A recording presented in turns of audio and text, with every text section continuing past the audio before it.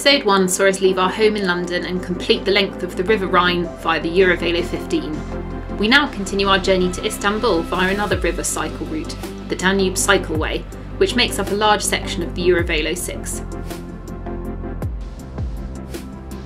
The whole Eurovelo 6 stretches from the Atlantic coast in France all the way to the Black Sea in Eastern Europe, covering over 3,600 kilometres.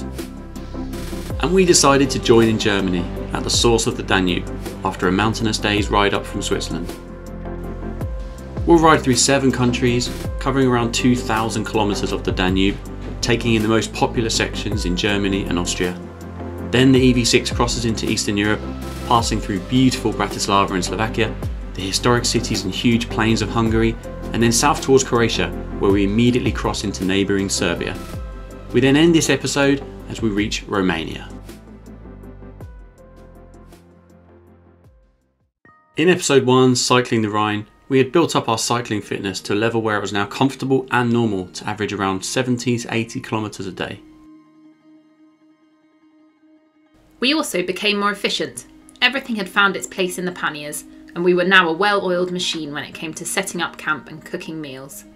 We had completely fallen in love with this method of travelling and firmly believed that in a post COVID world, it's one of the safest, most eco friendly ways to explore.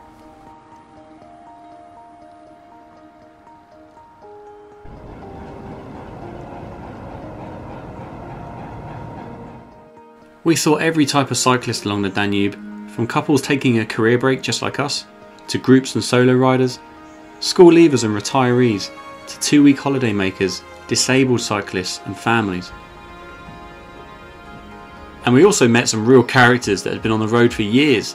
This is Louis, and we bumped into him numerous times along the Danube.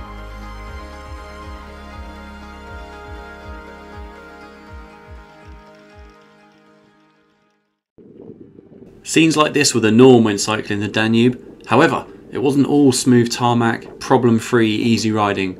In this episode, we belatedly find out how tough some days can be too. We finally had some mechanical issues to solve, and navigation became more and more difficult. We're in a field, middle of nowhere, trying to find the Eurovelo 6 again.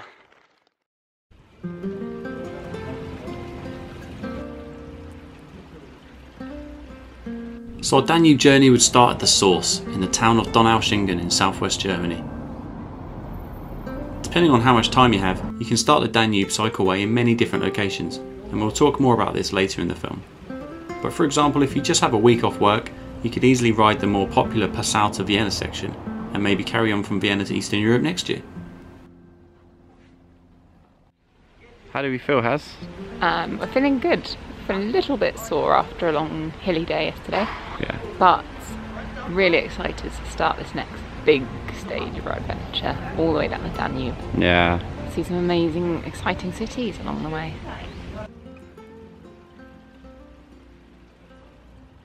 Uh, This next section is going to be a real adventure, I think.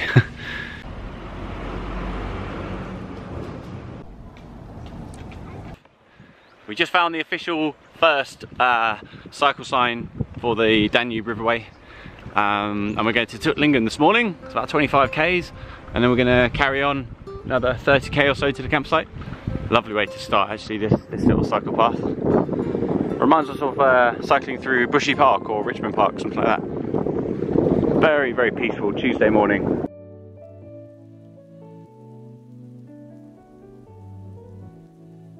Here we are at the first official bridge crossing of the River Danube. What the hell is that? It's the loudest donkey I've ever heard. Right, let's follow this river, Has. We just got to follow it to Romania. Let's go.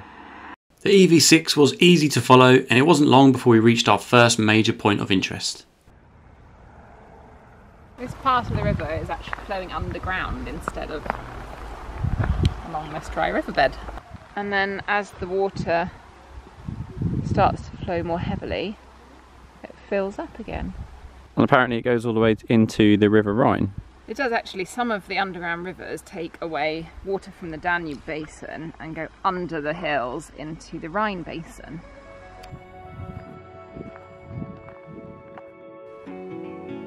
We had roughly 80 kilometres to do today, and after a later start than usual, and it still being the summer holidays, we really had to get cracking if we were to get a nice camping spot tonight. Although we hadn't seen too much of the river just yet, it had been a great start to the Danube.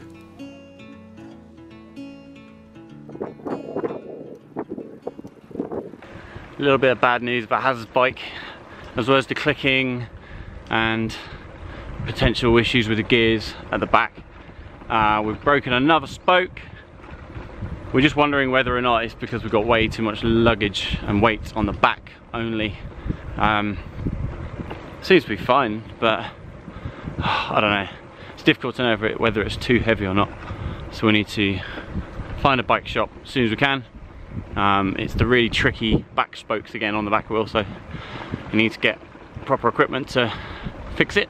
So Celebi, all part of cycle touring. Uh, at the moment we're just in beaver territory, so we're trying to spot some beavers. Heather keeps on thinking she sees beavers, but they're ducks. um, so yeah, very beautiful day though.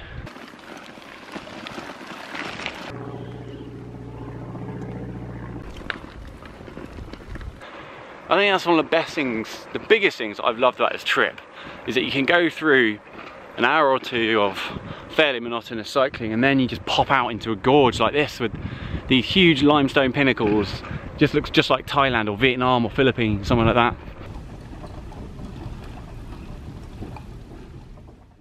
just did an 80k day after the huge hills that we did yesterday so we're feeling very proud of ourselves pushing on today Camping can be the most wonderful experience. Out in the open with the smell of the forest and the sound of the crickets. But sometimes for light sleepers like me, it can be absolute hell. Especially when you're tired and you know you need your energy for tomorrow. Even more so when the campsite is just so perfect. It's absolutely gutting. It didn't get any easier throughout the trip either, and I eventually found a pharmacy in Austria that sold me some amazing putty style earplugs which worked a treat. I highly recommend trialling various earplugs before you go, especially if camping during the European summer holidays when there's going to be loads of noisy groups around. These ones from a flight were completely useless and if anything blocked out everything but snorers. Been up since about 10 pm. Dead silent, really beautiful place alongside the Danube. But the reality of cycle touring is that you get a lot of snorers and noisy people in campsites. And when you're really tired, all you want to sleep, all you want to do is sleep, and then you can't. Got some bloody snorers every night when you just think you've got a quiet spot. Oh, I just start shouting stuff at them, but nothing happens. Earplugs don't work, music doesn't work. Just getting more and more tired. We just got the bikes fixed and cost us about 30 euro. Um, the bloke there trued both of our back wheels, sorted Hazza's gears out and mended the new spoke on the rear wheel. Didn't get any sleep last night, as you've just seen. It is now 20 past 11 and we have got about 85k to do again today. It's another really long day. But the sun is shining, we've got coffee, we've got each other, and lunch soon, yeah. Brilliant. Right, let's get going.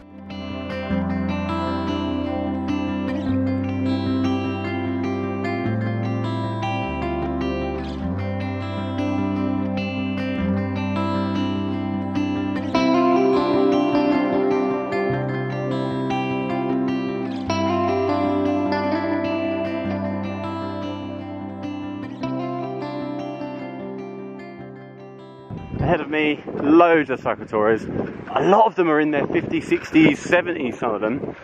We just spoke to a really nice French couple who, they live in Strasbourg and they took the train down to uh, Donaueschingen where the, the start of the Danube is and then they're going to cycle along a bigger loop and to somewhere else. Then they're going to get a train back to their car, something like that. But it sounds really fun, and they're just having two weeks off, and they all think we're crazy cycling from London to Istanbul. just a quick update. This is one of those classic moments when you everything's going really really well and we're following the signs perfectly. The roads are great. And then you end up in a bloody quarry. Don't know how we ended up in here. So we've got to go all the way back up and then there's a massive hill to get back up. Which is really annoying. And there's a massive thunderstorm coming as well. So. For licorice all sorts. oh man so we were told as well that this was a um, what's it called? A warm a hot spring. So I was expecting beautiful clear water go in there lounge maybe little bar. No. It's definitely a bit of a pond with terrapins in it. Good day today. What's the highlights of today Hazza? Tell me about your day. The gorge. Was gorgeous.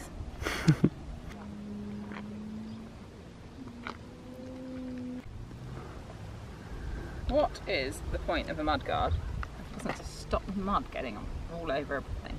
no it's all over the back of yours as well it was like a gravel path like this but it was really it just rained oh yours is really bad hmm. worst mud guards ever We then reached my idea of heaven, an empty campsite. This campsite was in Munderkingen, a huge empty site with a working shower block and bench table just around the corner from a massive Lidl. Perfection. literally slept probably an hour last night and we've just done 85k. It was a good day though, we really enjoyed it, it was amazing. Um, but could do a good sleep. What's around there, Has? Just having a wonder. So yeah, apparently we just give them a call, ring them up, register, pay over the phone probably. Very impressed. Oh, and there's Lidl just over the Danube River just there. And then we can get some food.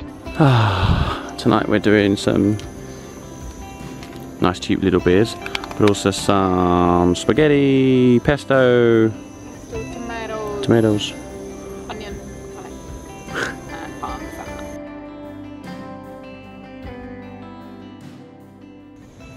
Good morning. This is day 43 now, and I've just got the best setup ever, so I wanted to show you around. Not a soul in sight. This is my little editing suite. I'm just going to do an hour this morning before Hazza wakes up. Really good setup. Got my own power, everything I need. This is brekkie. We've got peanut butter, cranberries and sultanas and bananas. Got the excellent MSR stove works without a problem every single time so far. In our food here, we've got some cheap instant coffee, some bits and bobs, got the porridge there, lots of tea and coffee, condiments, backup rice, something naughty there. And every morning we have some vitamin C and magnesium tablets. So I think I probably slept about eight hours last night.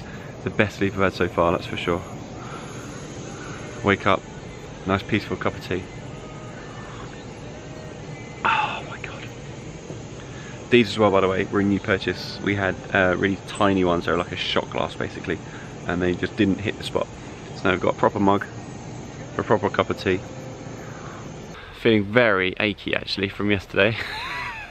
Maybe has not so much. Uh, we're off to Leipzig. Leipheim? Leipheim today. Um, we thought it was about 100k, but I don't know how we've calculated it wrong. It's only about 70 or so. 75. Um, still a long day though. And after the 250 we've done in the last three days, it's pretty tough. Legs are really sore today. Oh. Erringen. Erhingen. Erhingen. Erhingen. We are in Erhingen, Yes, we are. eating cheese bread. Look at this. because What a lovely been snack. An hour since breakfast. It's quite interesting fountain. It's a really cool fountain. Just a local middle of nowhere town in Germany. Loads and loads and loads and loads and loads of cycle routes, which makes us very happy. Easy signage, as always. So basically today, this route we were going to go on, um, well, we are going on, is Ehingen to Blaubeuren, which is stage six, and we're going to go on to Ulm after that, and then keep going to our campsite somewhere, But there's two different ways to do it. You can either go on a quick route or a slow route. So we're going to go to slow route because it goes to the Blautopf Blue Water Lagoon, the source of the Blau River. Um, it's supposed to be spectacular because it says spectacular there. This is really nice. Yes. Right, Has, tell me about this place. This is a blue lagoon. Correct. We're just now coming into Ulm, ULM, and we're going to stop for lunch. We're going to have a real nice treat of sausage and beer or something. It's been a really boring day today, quite cold and grey as well, nothing to see. The Blue Lagoon was like a little pond, it was blue. It was like, that's quite clever, quite impressive, but still boring. Um, maybe it's the weather as well, but yeah, there's been nothing since the last few days were so cool, so amazing with the um, with all the gorges and stuff. Um, so today's been pretty uninspiring, but hopefully if we find a really nice lunch spot and a good camp spot, it'll all be better. As always, the German food options did not disappoint.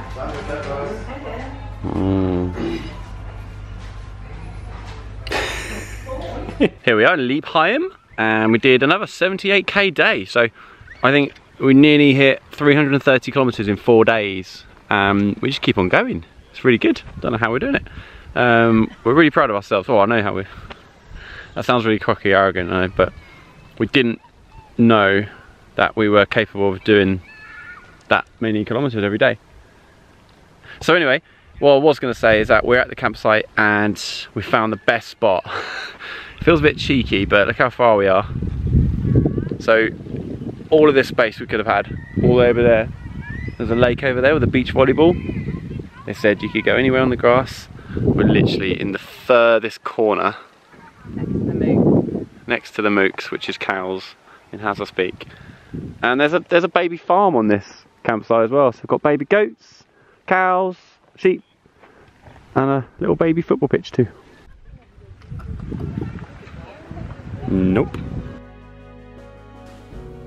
We then had our first real rainy day, and I found out my coat was no longer waterproof, so we'd planned to pick up a replacement in the next city. Such a grim day. So grim.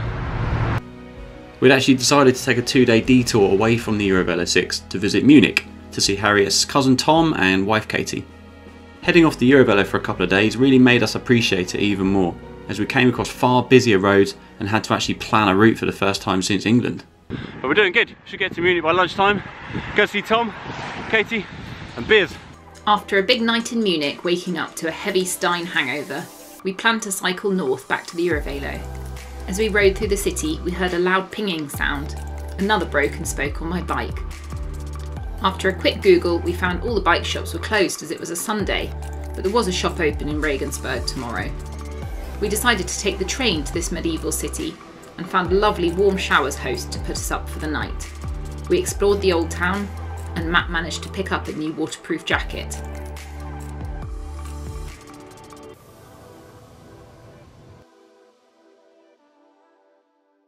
Just going to our first warm showers accommodation.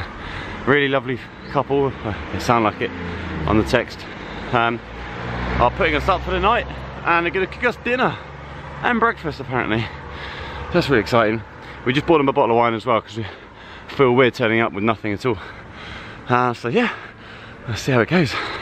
It went really well. The house was amazing and they cooked us a huge spag bowl and even gave us a few cold beers. Rested up, we went to the bike shop to fix Monty. We realised my wheels had fewer spokes than Matt's, with just 32, which basically meant it was weaker. So, to avoid any more breakages, especially as we headed towards Eastern Europe, we were advised to upgrade Monty's back wheel to a 36 spoke, and it seemed to do the trick. Back on the Eurovelo 6 from Regensburg, we headed 60 kilometres east to Straubing. We felt revitalised from our little break and it felt amazing to be back on the river.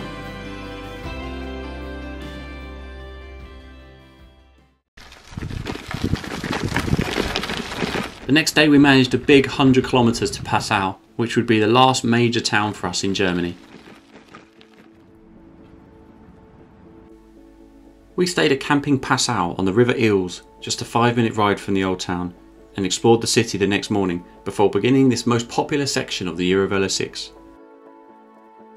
Passau is over 2,000 years old and is well known for its Baroque architecture and is a popular start point for the river cruises which head east to Vienna and onto the Black Sea, just like the Eurovelo 6. Known as the Three River City, Passau is located on a thin peninsula where the River Inn, Danube, and the smaller River Ilz all join. This hugely popular section to Vienna is perfect for cyclists looking for a scenic flat route that can be completed in around 4 to 6 days. If you choose to start your trip in Passau, you could arrive by train and hire a bike with panniers and then drop it all off in Vienna. There are plenty of hotels and campsites and the Eurovelo rarely leaves the river. You really can't go wrong. Guided group tours are also common between Passau and Vienna and all the way to Budapest. So if you prefer a more organised service, staying in hotels and having your luggage forwarded each day, this could be a really good option for you. So we've been through many border crossings already so far on this trip. Um, this one's on a dam, which is really cool. So that's Austria behind me. And then behind me that way is Deutschland, Germany.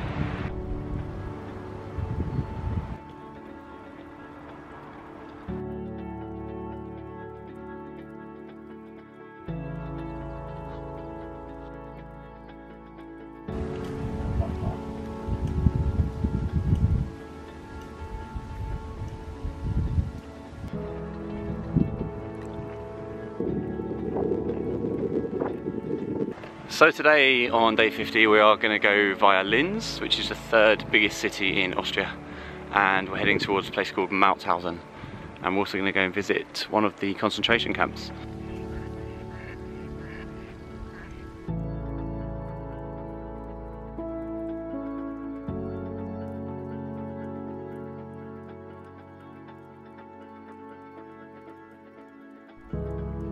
Just waiting here on the Eurovelo just for a ferry across the river. After crossing the river to Ottensheim via chain ferry, we rode along the smoothest of cycle paths before crossing over the Danube again and into the centre of Linz.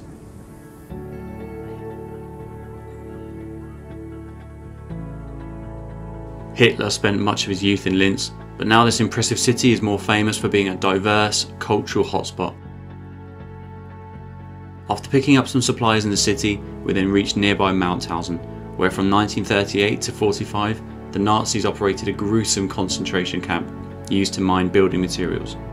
The most infamous of punishments was for prisoners to carry heavy granite blocks up the so called Stairway of Death from the quarry. The site is now a memorial for the victims. It's thought over 100,000 prisoners died here.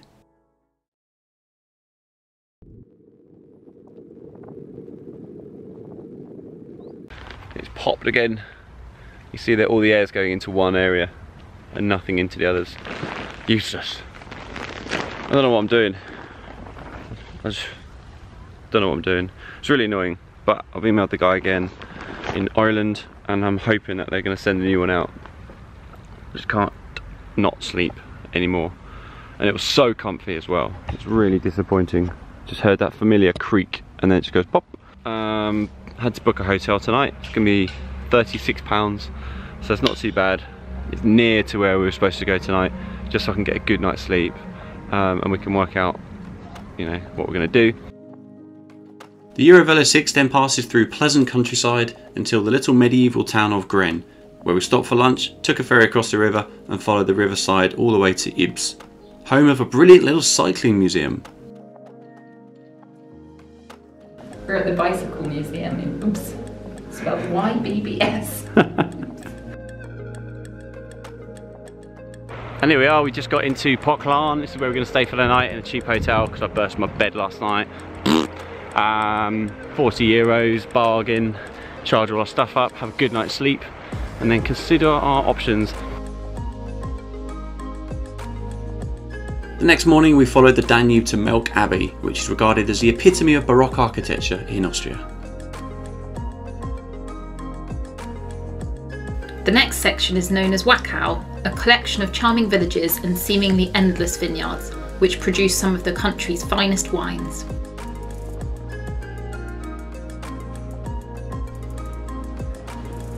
We then overnighted in Zwentendorf, which would be the last camping for us in Western Europe, as tomorrow we had just a short ride into Vienna where we'd treat ourselves to a few nights in a hostel and time off the bikes to explore the capital city.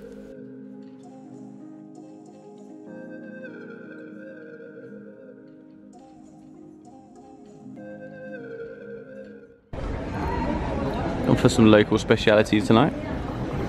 Massive schnitzel with extra uh, onion rings, large chips. Has gone for a biggest sausage you can find.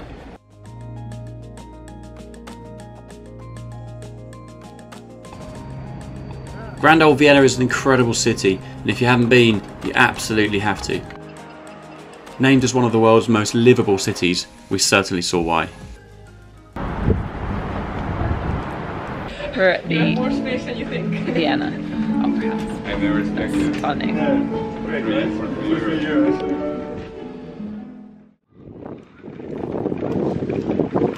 Unbelievable. We're going through a park um, on the way back to the Danube River, uh, which will take us all the way to Bratislava in Slovakia. 42 kilometers to go. It's our first time we've seen, it's the first time we've seen Bratislava as well on a sign. Long, long way. Oh no, look, it turns into gravel now. Oh god. Oh, there's Vienna. So we basically come, bloody hell, it's massive, isn't it? We're kind of following this all the way. And then we are going to essentially just cross over the border and get into Bratislava where we've got a lovely hotel booked for the night and we're going to go and explore Fig and Parma ham.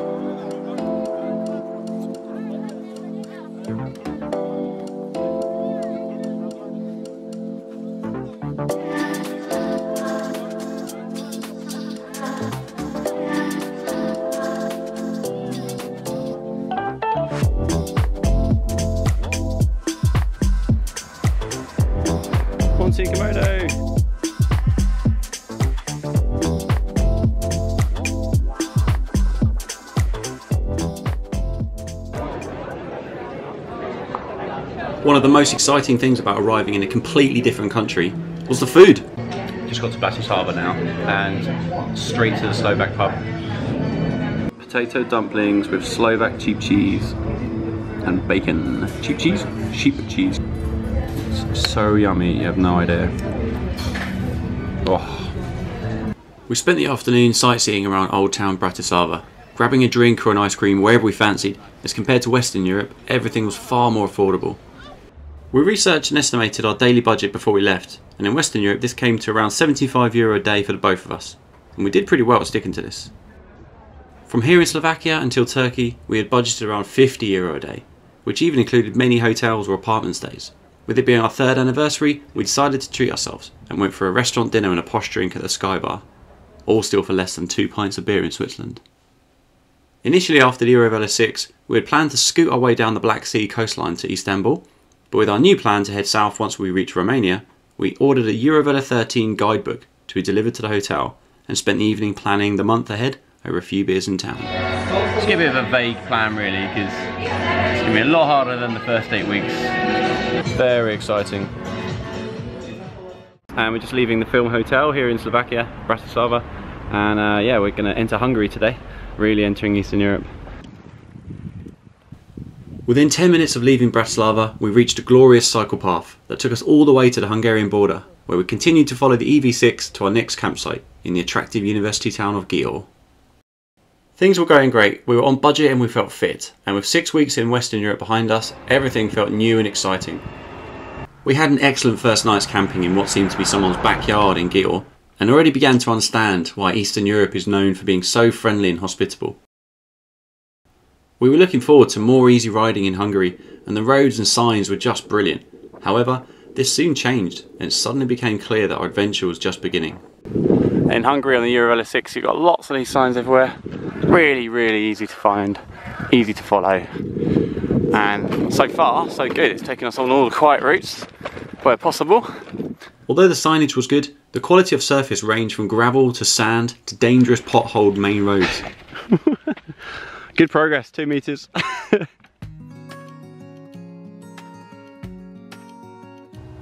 Look at this, we've got the whole place to ourselves.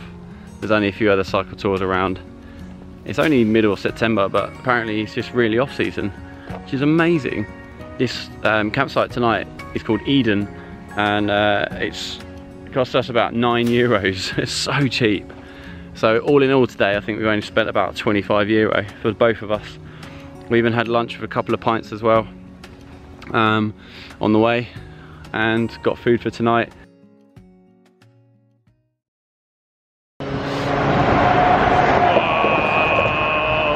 Eurovelo 6 takes us straight onto this very, very, very busy straight road. So you have to brace yourself every time one comes past you. Bloody hell. Not much fun this spot.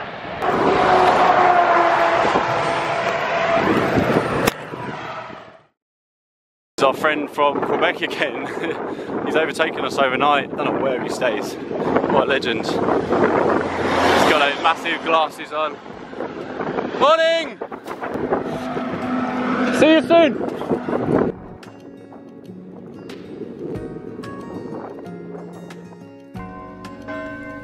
We reached the beautiful city of Esztergom, and from here the poor quality roads ended as the EV6 rejoined the Danube and took us along a scenic, quiet cycle path practically all the way to Budapest.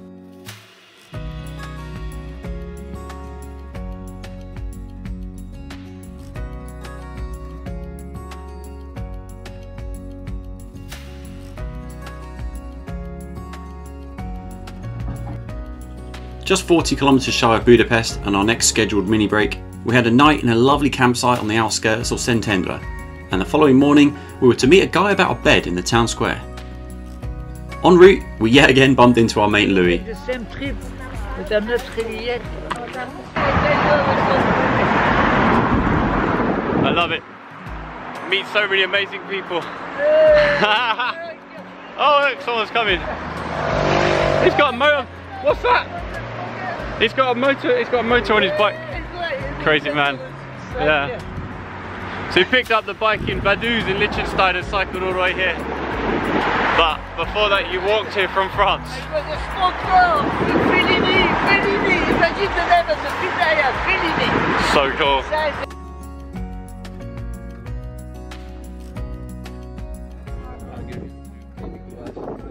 This will be tricky. I mean, So we just met Akos, and we're now going to go to Budapest, and we're going to find some food. Um, And I came got- from Budapest, so it's a Yeah. place. and he's got a sleeping mat. Yeah. Look who we found again, Louis.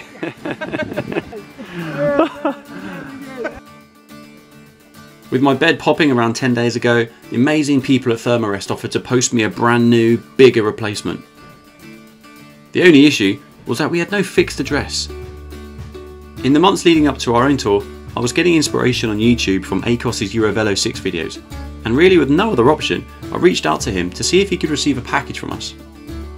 Ordinarily, this would seem a pretty strange request from a random bloke on the internet, but the force is strong in the cycle touring community, and Akos agreed, and even offered to meet us in Szentendre and ride with us into his hometown of Budapest.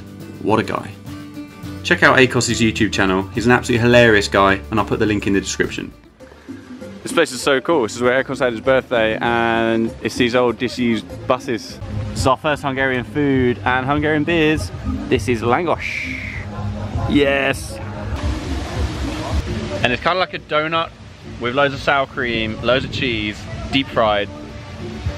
Incredible. it literally is incredible. Um,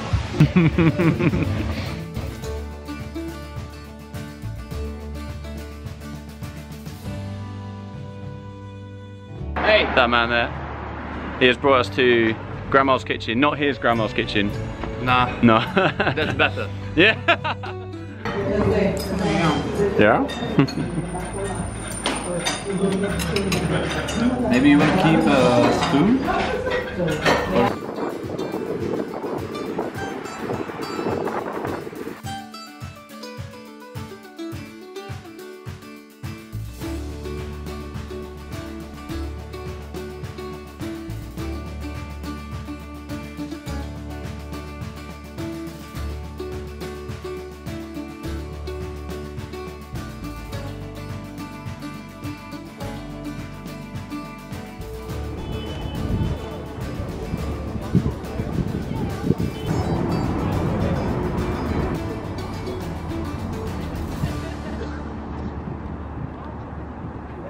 So this is, don't get fooled by the label, this is Pálinka, not wine.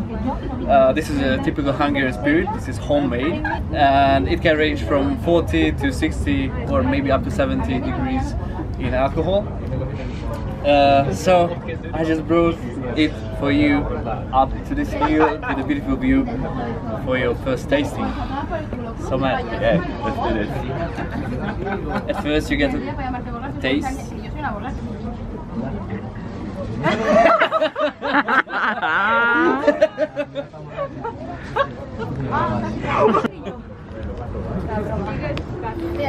Camera woman. Mmm, yummy. oh, don't smell it. Whichever, but normally it's a shot because it's so bad. But I think I think this one is good. I don't know if you can agree with me. It's really nice. We'll see what she says. Ooh. Yeah.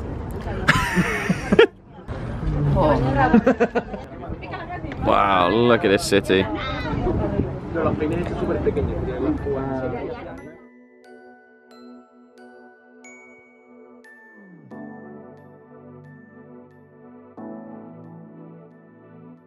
So we're just leaving Budapest, day 61, and we're off to a place called Dömsöd.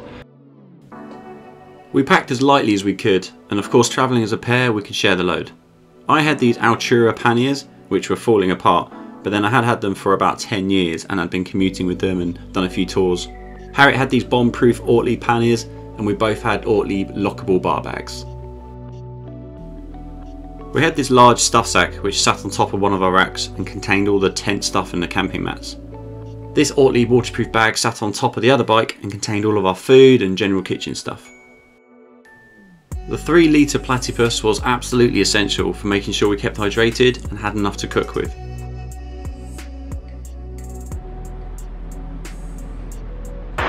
Just about to cross the river and leave Budapest. Gonna really miss this city. I absolutely fell in love with it. I think we both did. What a great couple of days. And uh, on to the next adventure now.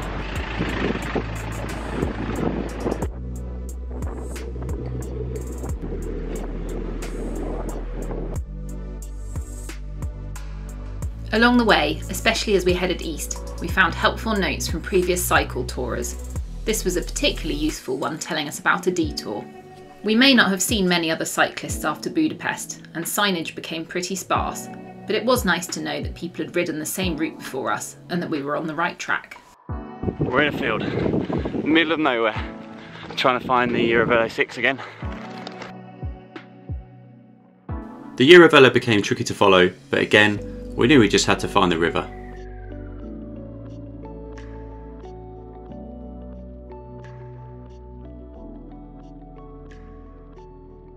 So tonight I'm gonna try out the new bed. So this is the one that Thermarest sent to uh, Budapest for me because the previous two have now broken.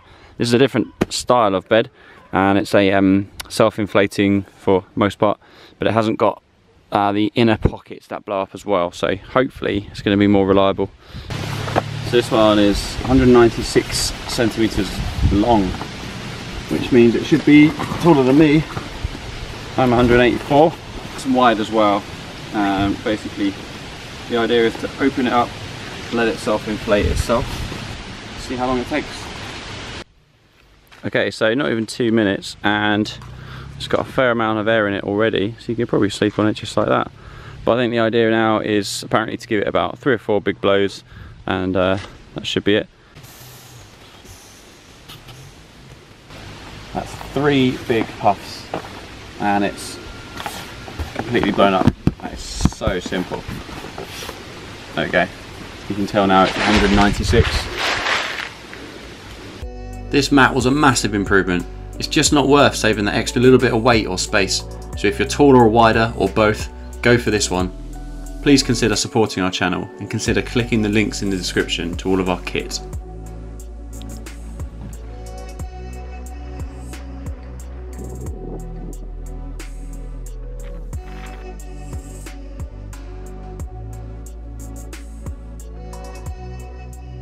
We just reached over 100k, new record today. We've still got good 20k or so to go to Baja, so smash the record. Uh, we didn't really mean to when we set off this morning. It was supposed to be 80 or 90k day. Um, but we did such good time earlier. We made such good time that we decided to just carry on. We felt good. It's been nice and flat. As you can see, the weather is glorious. And then um, we're gonna go and have a real big treat meal. Um, all the Hungarian food we can get. It's our last night in Hungary today, so Croatia we're gonna tomorrow. yeah, gonna be in Croatia tomorrow. Um, got two days in Croatia, and then we hit Belgrade by Saturday now because we did such good time today. And uh, we're gonna stay in the hostel for two nights in Belgrade, so we can have the whole day on Sunday to explore.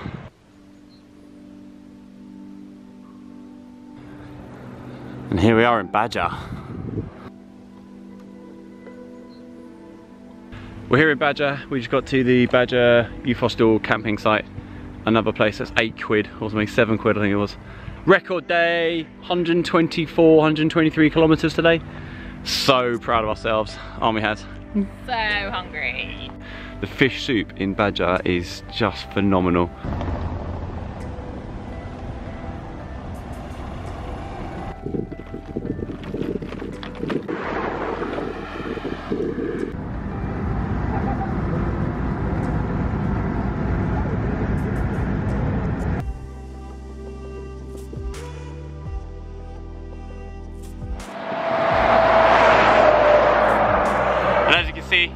The 6 stops its cycle path for the last 5k or so going into Croatia, so just got to be a little bit careful.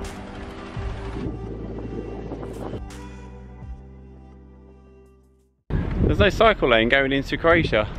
That's a shame.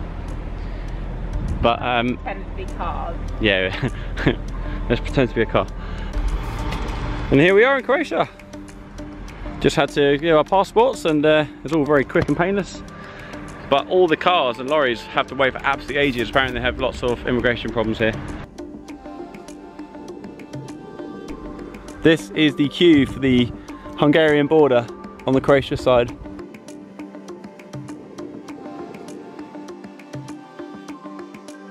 Just inside the border here in Croatia after Hungary. And it says make yourself at home, we'll come around at 8 o'clock. The plan this morning was to follow the Eurovelo 6 through the vast Croatian plains to Ilok, just before we'd cross over the river to Serbia. It looked like there should be a hotel or a campsite here, but as it was now late September, we found many campsites or hotels were already closed or had no way to contact them. All of a sudden, with Serbia around the corner, it really felt like we'd gone from leisure cycle touring to adventure cycle touring. We were to pass through Vukovar, which was heavily damaged during the Croatian War of Independence in the early 90s. The damage here was called the worst in Europe since World War II. In 1991 in Vukovar, Croatia, where we are now, for 87 days of the battle of the town, Serbians fired on average 12,000 shells and rockets per day into this town. So evidence of all of those bullet holes. Some of them have been covered up, some of them have been knocked down, but it's still really quite raw here.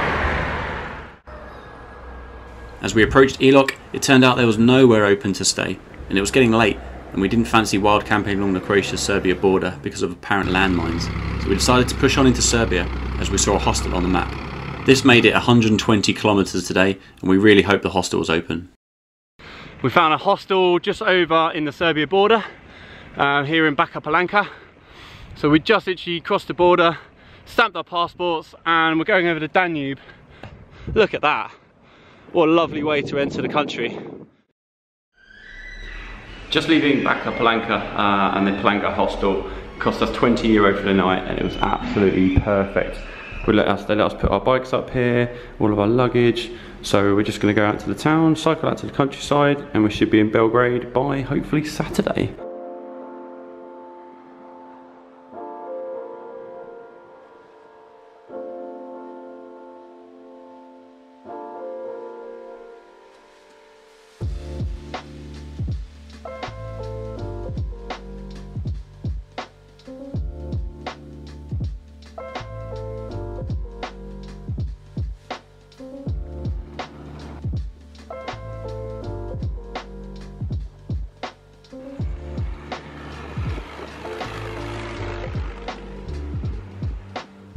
Today we've gone for some burek for lunch and uh, this is a local speciality.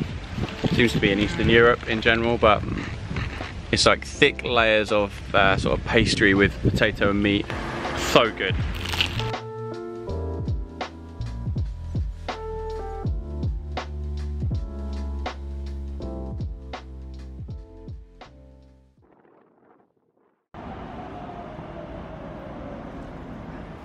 We had originally planned just to spend one night in Belgrade, but we heard so many good things about the city, so we decided to stick around for an extra night to explore.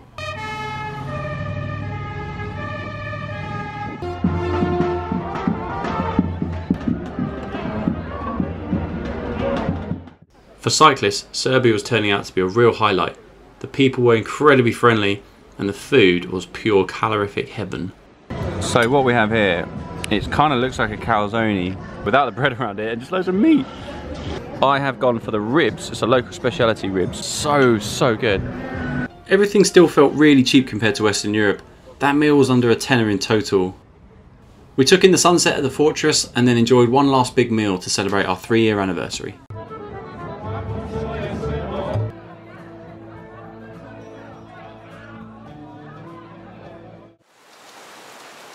I only used a small Canon point and shoot, so no GoPro for the wet days, and as we left monsoon-like Belgrade, we navigated through dangerous heavy traffic, then super fast roads in the suburbs. Cycle touring is beautiful! We've been well overdue a day like this. Oh, it's grim. The Eurovelo then turned off to muddy flood dikes, better suited for mountain bikers. With no camera today, here are a few phone clips that pretty much sum it up. Even back on the pathways, the riding still wasn't risk free, as you can see from this sign. Been a really tough day today. It's been no more than 11 or 12 degrees and it's just been absolutely bucking it down. Just clocked 90 kilometers and we're almost at the little town on the river and we're hoping there's a little hostel or a campsite. The one good thing about today is that the Eurovelo 6 signs are perfect. So luckily we hadn't had to worry about any directions or any problems with that at all. It's been quite simple. It's just mentally just get through it. It's been wet and cold and pretty horrible. The other thing we found today was that there's uh, been lots of wild dogs just running into the road and chasing us. Uh, one ran right in front of Hazza on the main road and this is it, nearly 100k now and it's been one hell of a day. We heard someone had stayed at this one place before. Zimmer Rooms, here we go. This little place was in Stara Palanka and was a real lifesaver. As cool as wild camping sounds, in real life, after 100 kilometres in the cold rain, to have a hot shower and a bed for the night was absolute heaven.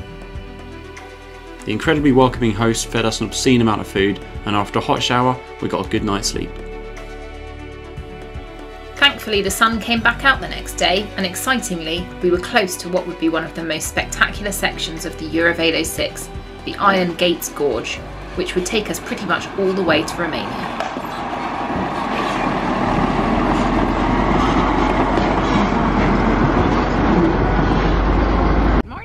Good morning. We're on a ferry. Not gonna lie, this ferry seems a little bit too small for the massive lorry that's on it and the tiny boat trying to trying to tow it. And we seem to be going into this wall. This must be like hanging off the edge.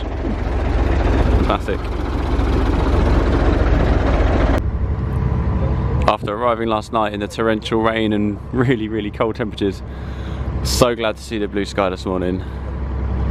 That was the little hotel we stayed at. It's called the Restaurant Sanse. Basically a little restaurant with a room above it.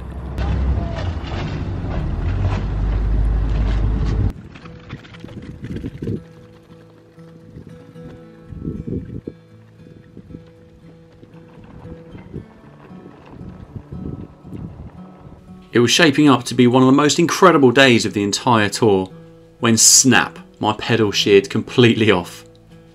It was totally unrepairable, and of course we had no spares for such an issue, or any issues in fact, apart from a few spare inner tubes, which we still hadn't needed to use. I bodged it back on so I could at least push on the down pedal, but I essentially had to cycle with one leg. Thankfully, we still had some phone signal, and I found a small bike shop about 15 kilometres away. An absolute legend, he's just walking off there. Went into this, took us to this little computer service shop and said my uncle is the president of the local cycling team and uh, about 10 minutes later he turned up with one pedal and we fixed it. Basically the pedal was just knackered. Cheap sort of plasticky pedal and the other one's staying, staying the same. But it works and we're back on the road and we're going on to the gorge. This is supposed to be the best part of the Danube. So you can kind of see it, it's just over there.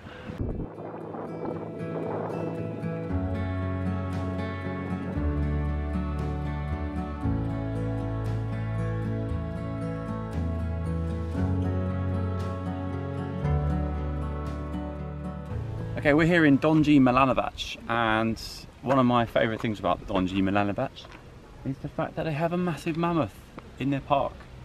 A mammoth sounds a little bit like this.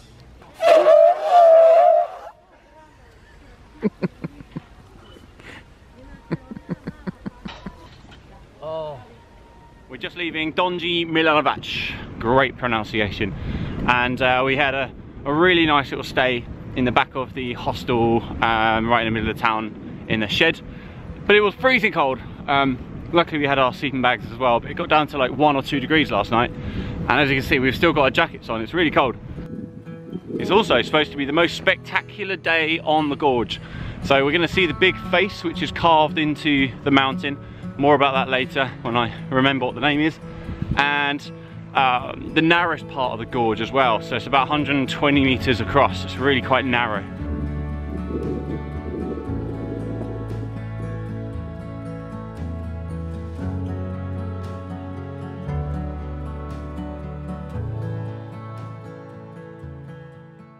So we just went up a nice big hill, really amazing views, and we're just about to go through the longest tunnel of this stretch. It's uh, 371 meters long and it's pitch black in these as well. So we're going to put our head torches on, all the lights on, and just go as fast as we can basically. 370 odd meters isn't actually that fast, so we came up pretty quickly. And then we came out to this view.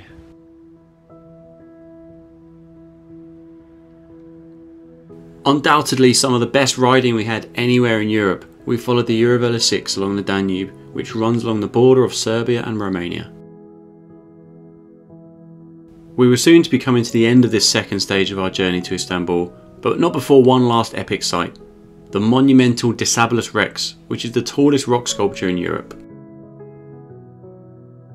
We took some time to take it all in and then headed downhill towards the Đerdap Dam, which doubles as the border crossing over to Romania. Many choose to continue all the way to the Black Sea from here, but we chose to overnight in a hotel in the city and then join the Eurovelo 13, which briefly joins the Eurovelo 6 here. So we're in Romania! Woo! Country number 11 if you're counting England.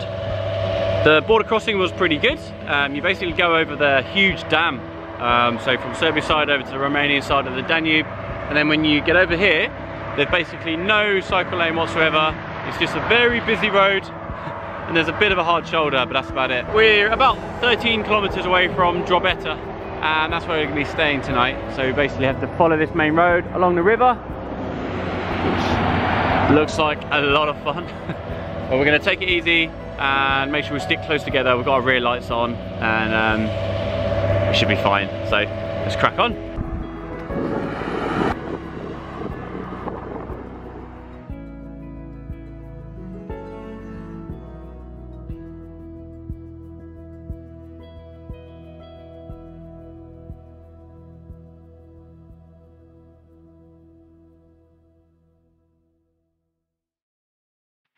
Join us in the third and final film as we take the Eurovelo 13 back into Serbia, then up into the Balkan Mountains, where the plan was to ride through Bulgaria, North Macedonia, back through Bulgaria into Greece, and finally Turkey, where we'd finish our London to Istanbul bike tour. The Eurovelo 6 from the source of the Danube to Romania. It really had everything we cannot recommend it highly enough. The next stage certainly took the adventure to a whole new level. So see you in the next one and thank you so much for watching and supporting our channel. We have plenty of plans, so please subscribe and watch this space.